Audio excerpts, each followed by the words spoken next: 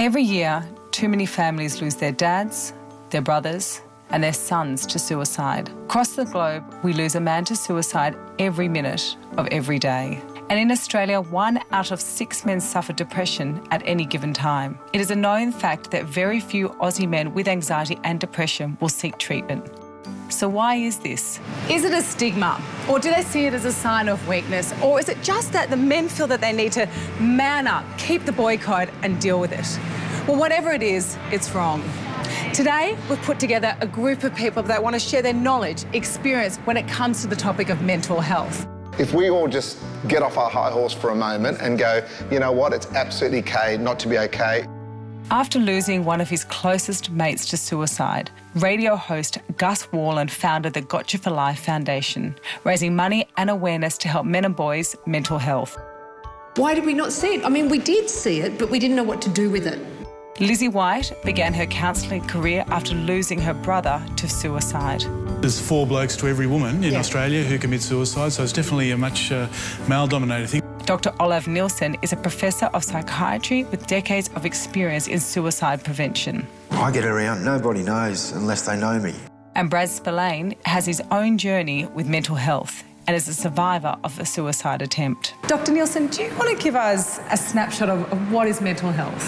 I guess it's uh, it can be understood in terms of freedom from from the uh, the manifestations of, of, particular mental illnesses, you know, anxiety, depression, psychosis, and so forth. The anxiety and depression in particular uh, affect about five or six percent of the community at any given time. Why is it you think that men actually don't put their hand up and say, "Hey, I need some help"?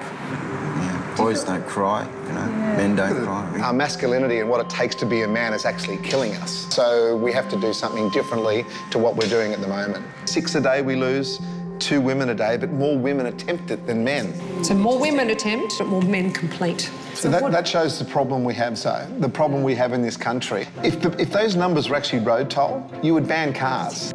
The hard numbers Gus is talking about make hard reading. And in 2016, of the 2,866 deaths by suicide, 75% of them were male. That's just over 74,000 potential happy years of human life lost in 12 short months. And no one at this table knows the menace behind these numbers more intimately than Brad. Brad, I mean, your story when I read it, it you know, it, it, it, broke my heart, to be really honest. Can you tell me a little bit about it, what happened to you? I felt like I was basically always trying to get out of like this clay pit. You know, every time I tried to climb, I was falling back down and, and the pit was getting deeper and deeper. Everything at that point of my life, there was nowhere for me to go. That was the, that was the only option option that I had. But that's how you felt. That's how I felt. That, that actually wasn't the truth, though. Yeah. Like it was your truth in your moment. At that time. You... At that time, did you have anyone to talk to? No. For every death by suicide in Australia, it is estimated that as many as 30 people attempt to end their lives. But talking to someone is proven to save lives. Australia's first telephone support service, Lifeline, was launched in 1963 Today, its phone lines and websites receive 400,000 calls from men who need help every year. But the truth is, men are more likely to open up to male counsellors. So that's where Gotcha for Life has stepped up to help. Something that Gotcha for Life has done, we've put a scholarship together now. So if you want to be trained up as a lifeline counsellor, we'll pay for it. So that takes away that little hurdle that might be stopping some blokes. If we get more blokes answering the phones, then more likely perhaps for them to have the convo. If that conversation happens, it might save their life. While all the evidence around suicide prevention points to open dialogue saving lives, 20% of Australians still believe talking about suicide actually increases the risk of people dying. So it's clear that attitudes need to change. Because talking honestly, openly, with family and friends isn't about solving someone's problem, but helping that person feel connected and supported. You know, you're in a crisis and you talk about how you deal with crisis. I think we're scared of that. We're afraid. We want to fix you. You're not okay.